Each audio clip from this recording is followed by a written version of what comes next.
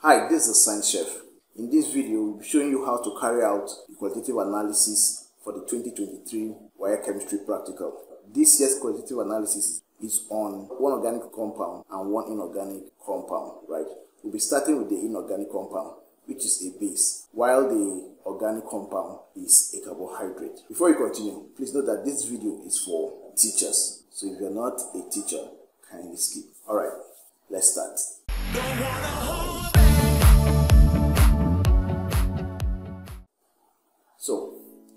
Can see, this is our inorganic compound, as specimen D, a powder, white powder, right? That's the appearance. And we'll be carrying out some tests on solubility in water, right?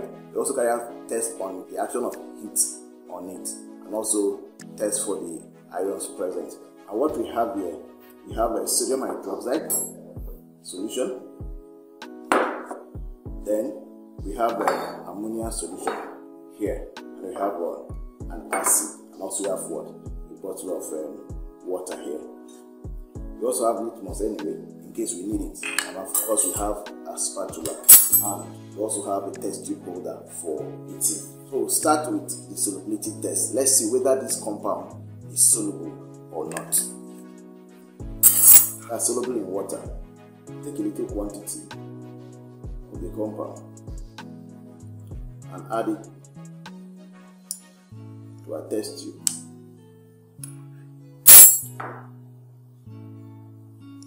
And add some water.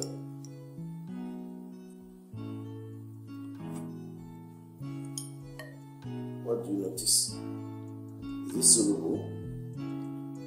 No. It gives a milky or a cloudy uh, color, kind of suspension. So it means that this is not a soluble base. It's not a soluble base. For fact, it's not a soluble base, then it means that it's not a one oxide, neither is it a two oxide, right? It's not a lower end of the two oxide, right? And therefore it means that it must either be a three oxide, you starting from aluminum or a transition metal what oxide. That's test one. It's not soluble. It's not soluble in water. Let's try the next test. Let's see check its solubility in acid. So we are going to add it into quantity to tube and then add a little amount of what acid.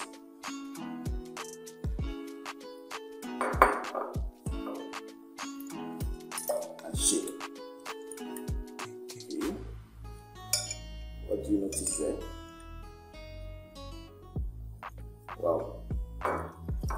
You see what I'm seeing? The solution has become what? Colorless. Can you compare it with this? You see the compare the two? This is water. This is substance in water. You can see it's settled at the bottom. Can you see the deposits or the particles of the substance at the bottom of the uh, boiling tube? And you can see here, here it gives us a colorless solution in acid, which means that it's soluble acid but not in water. So that confirms that it is a base. So it dissolves in an acid without any effervescence, right? That tells us that it is not a trioxocarbonate 4 because if it were to be a trioxocarbonate 4, it would have evolved CO2, have liberated CO2 to have been seen as bubbles of what? Gases. And since there is none, means that it must be a metallic what? Oxide since it is a base. Then the next test we'll be carried out be to test for the ion, the metallic ion present in base. So we are going to take a, little quantity of the solution in acid, right? Just take a little quantity, yes, very little, you know, but that's too much. Okay, this is okay, right? This amount is okay. We are going to add few drops of sodium hydroxide. Add few drops of sodium hydroxide and check whether it will give us any precipitate. Can you see? Can you see? Do we have any precipitate here? Yes. Can we compare it with this? Right? Compare the two. You can see a white precipitate. Right? Good. What happens when you add in excess?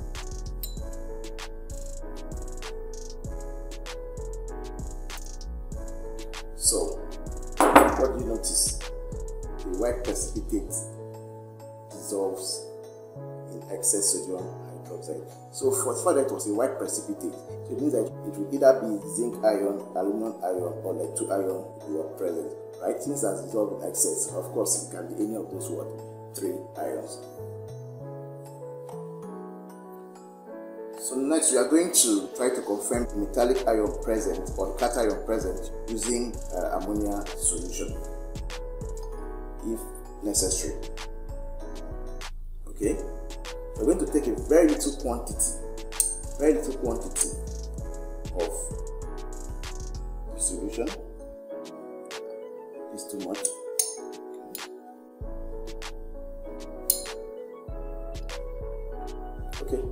Little quantity about one cm cube or thereabouts. Right? You have to take that little bit, otherwise you will not get the expected result. And then we're going to add the ammonia solution. Can you see? This ammonia solution. Okay. I'm going to add it. Let's see the drops.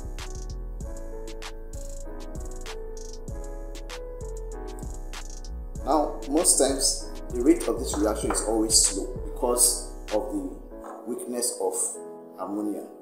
Ammonia is a weak alkali or a weak precipitating agent compared to sodium hydroxide. So it takes a longer time to precipitate cation present in this compound compared to sodium hydroxide. If you check now, you will see a little precipitate somewhere around here. Can you see it? Yes, here. Yes, you can see a, a white gelatinous precipitate on the upper layer of this mixture in the water test tube. So let's now add more ammonia to see what will happen.